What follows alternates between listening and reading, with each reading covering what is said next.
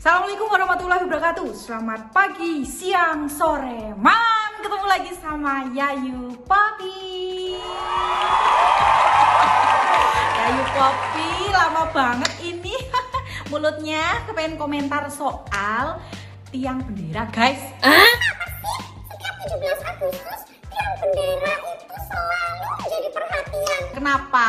Tahu nggak alasannya? Ngerti ora kok pada?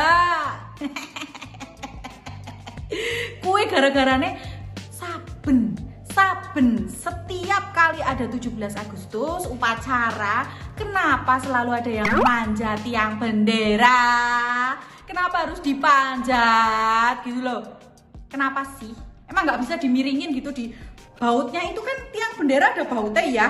Pinggir-pinggirnya. Terus dimiringin dulu di, di kendorin dulu dimiringin set talinya diambil.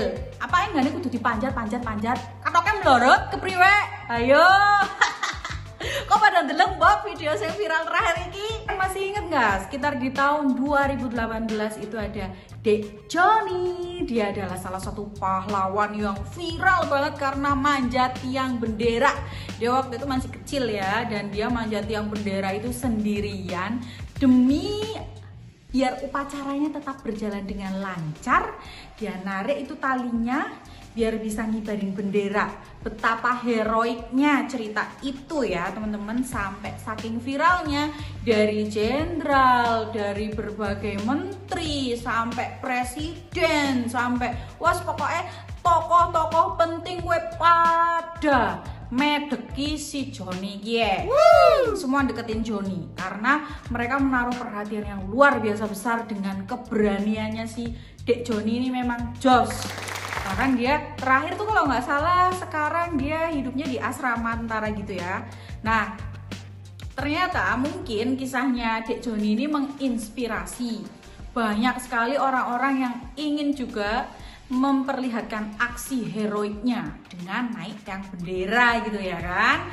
Lagi acara upacara 17 Agustus terus ternyata talinya nyangkut di atas. Mau diambil susah. Anu dhuwur banget sih.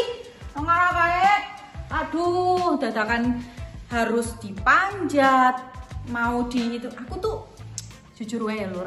Agak bertanya-tanya gitu loh. Emang nggak bisa itu uh, tiangnya di street dibengkokin atau dimiringin atau itu kan uh, di tiang bendera itu kan di bagian tengah ada kayak baut gitu. Nah mungkin bautnya kayak dikendorin gitu terus diturunin sedikit buat ngambil talinya. Apa harus malah dipanjat gitu loh.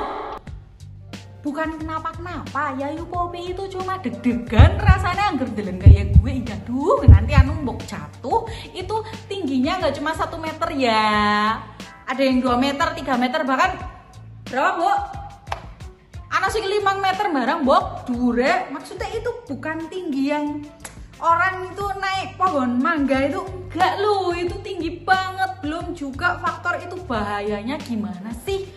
Ya kalau naik kayak yang terakhir ini nih. Kalau nggak salah di daerah Lampung apa di mana sih itu? Ada orang mau menyelamatkan tali bendera yang tersangkut. Sampai akhirnya dia naik naik naik naik naik naik. Ternyata tiangnya pruk rubuh. Apa orang bahaya banget? Coba kayak gitu. Bob, aku rasanya ngerdeleng kayak gue ya. Perasaanku itu sangat berdebar-debar Antara aku tuh takut, eh Mbok nanti jatuh. Atau yang kedua, eh Mbok nanti tiangnya itu patah di tengah jalan Gak kuat menopang berat Atau eh Mbok nanti lagi manjat-manjat-manjat Celananya melorot bisa baik kayak gitu terjadi loh lur Eh gitu loh, iki arep melu upacara bendera wis bejujur ngadeg gini. Udah mau siap-siap nunggu ya kan? Eh nungguin itu orang aduh aduh aduh, aduh. ini lagi upacara apalagi nonton film thriller. Hah? lagi upacara apalagi nonton film horor. Hah? jadi banget. Kalian ini enggak sih uh, sempet memikirkan itu enggak keselamatannya itu loh. Gimana itu loh? Kalau ada apa-apa. Embok nanti kakinya kenapa-napa itu jatuh dari ketinggian loh ya. Tinggian bukan anu jatuh dari jendela biasa.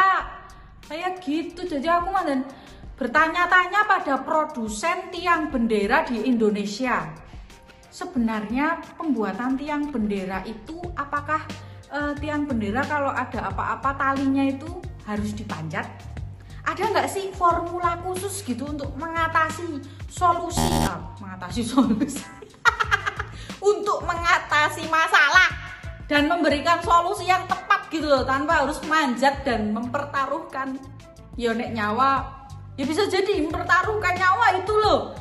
Dan mempertaruhkan jiwa dan raga loh. Kalau jatuh ada apa-apa yo.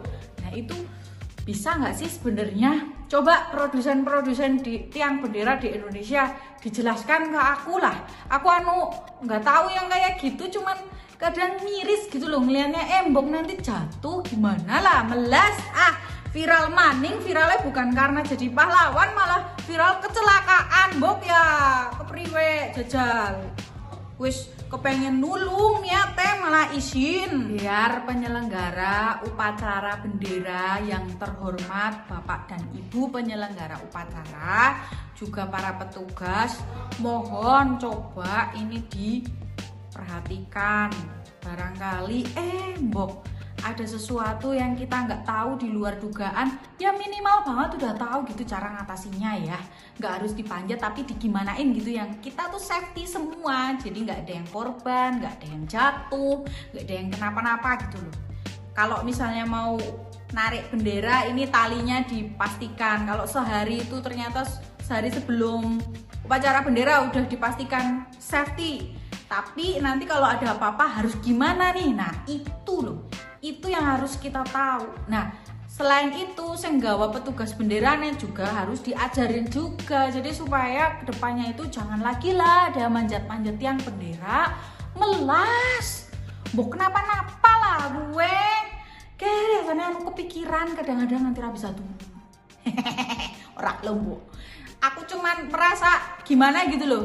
Emang nggak bisa gitu di yang tegak itu gak di bisa orang ya kira-kira